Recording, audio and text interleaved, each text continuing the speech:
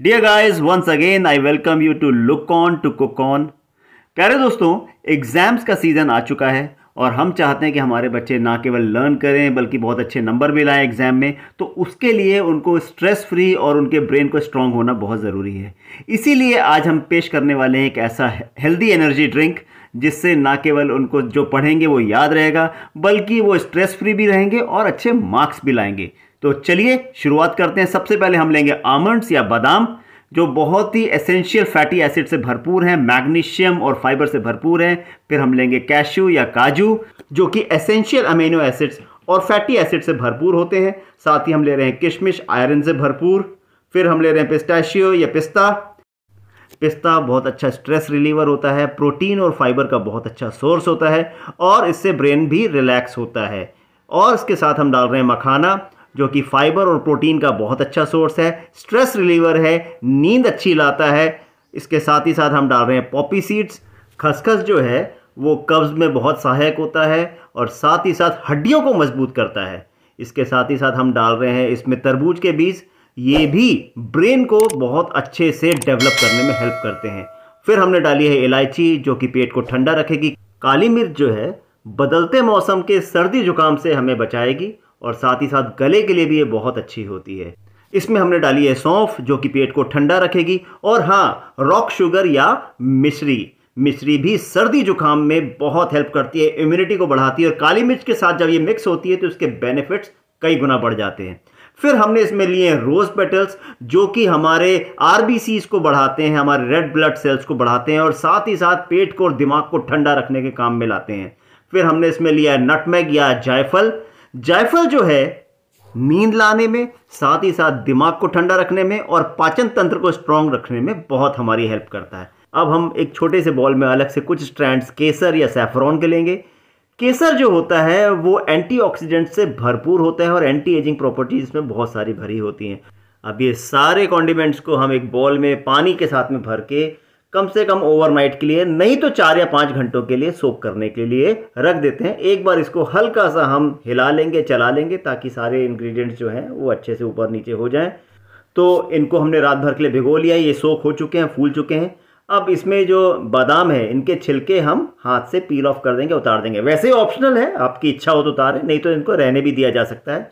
अब इन सारे इंग्रेडिएंट्स को हम छान लेंगे। एक स्ट्रेनर की मदद से हम इनका पानी अलग कर लेंगे। तो अभी जो बोल में पानी रह गया है, इस पानी को हम अभी यहीं पे रोक लेते हैं। जब हम इन सारे इंग्रेडिएंट्स को पीसने के लिए मिक्सी में डालेंगे, उस समय इसको हम सीधे जार में डालेंगे, क्योंकि इसके अंदर पॉपी सीड्स रह गए हैं। अभी जो बचे कुचे बादाम है जो छीलने से रह गए थे, इनको भी हम छील लेते हैं। आप चाहें तो जैसे मैंने बताया ऑप्शनल है। तो अब हम इसको मिक्सी के जार में डालेंगे। इसका मैक्सिमम बेनिफिट ड्रॉ करने के लिए बेस्ट होगा कि आप इसको सिल बटे पे अच्छे से पीस लें, या फिर हिमाम दस्ते में कूटें, जिससे इसके सारे जूसेस निकल के बाहर आ जाएँगे। हमारी दादी माँ, नानी माँ इसी तरह से हमको सिखाया करती थी, बताया करती थी, मगर अब वो दौर नहीं रहा, आप मिक्सी की हेल्प ले सकते हैं। अब यहाँ पे हमने वो बचा हुआ पानी ऐड किया और थोड़ा सा इसको डाइल्यूट करने के लिए थोड़ा पानी और डाला, और साथ में जो हम, हमने केसर भिगोया हुआ था, वो भी हमने इसमें ऐड कर दिया। यहाँ केसर के जो स्ट्रैंड्स हैं वो हमने बचा लिए हैं, क्योंकि वो जब ठंडाई बनाएँगे हम तो उसमें हम लोग ऊपर से इसको गार्निश करेंगे। तो अब हम इस जादुई मिश्रण को पीस लेते हैं और इसका एक फाइन पेस्ट हम तैयार कर लेते हैं। हम इसको थोड़ा सा दरदरा पीसेंगे हल्का सा ग्रेनी होना चाहिए ये। तो ये देखिए, इस तरह से इसकी कंसिस्टेंसी नज़र आएगी आपको। अब आप एक सूखा, साफ़ कांच का जार ले लीजिए और उसके अंदर इसको भर के रख लीजिए। यदि आप चाहते हैं ये तीन चार दिन चले तो बेस्ट होगा इसे आप फ्रीज़र में रख दीजिए। अब ये कॉन्सेंट्रेट आपके पास में तैयार है। आपको रोज़ रोज़ मेहनत करने की ज़रूरत नहीं है। बस आप इसको बच्चों को डेली दीजिए रेडीमेड बना के। और मार्केट में इस तरह के बहुत सारे प्रिपरेशन मिलते हैं, जिसमें बहुत सारे केमिकल्स और बहुत सारे प्रिजर्वेटिव ऐड होते हैं तो उनसे हमको बचना है। ये नेचुरल है, इसका कोई केमिकल इफ़ेक्ट नहीं है। बच्चे इसको पिएँगे एग्ज़ाम्स में भी अच्छा करेंगे मार्क्स भी अच्छा लाएँगे और स्ट्रेस फ्री भी होंगे। तो एग्ज़ाम्स का फीवर जो है, वो बड़े आराम से कट जाएगा, आपको पता भी नहीं चलेगा। तो इस ठंडाई को तैयार करने के लिए पहले हम ले लेते हैं चीनी।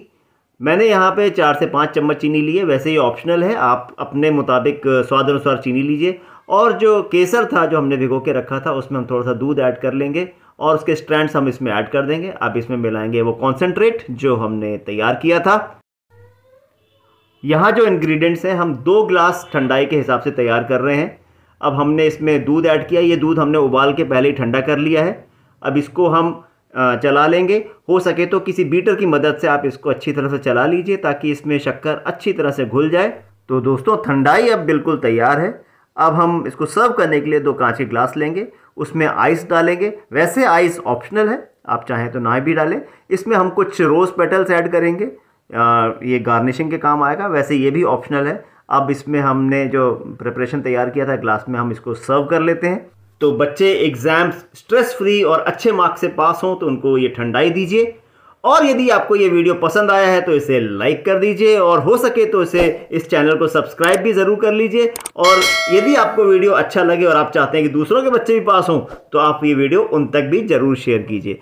अब इसको फाइनल टच देने के लिए आप इसको कुछ श्रेडेड बादाम के टुकड़ों से या कुछ ड्राई फ्रूट से इसको आप गार्निश कर लीजिए और इसको सर्व कीजिए।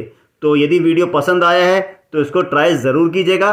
चलिए मिलते हैं अगले वीडियो में। Till then all the best for exams and happy summers ciao